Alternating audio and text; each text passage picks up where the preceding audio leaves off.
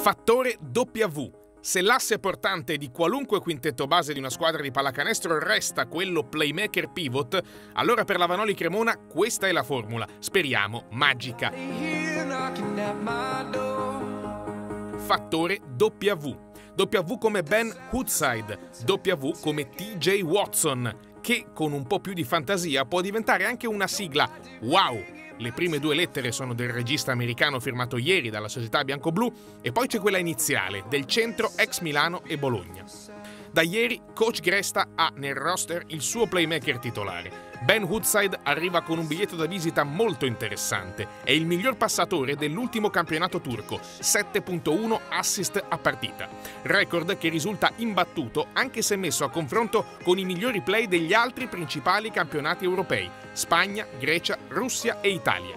Woodside è nato nel Minnesota a nord degli Stati Uniti, ma ha il passaporto georgiano e dunque comunitario. Lascia la maglia del TED Collegialier e ha un passato anche in Eurolega con una delle squadre più prestigiose del vecchio continente, l'Olimpia Lubiana, con cui ha giocato nel 2011.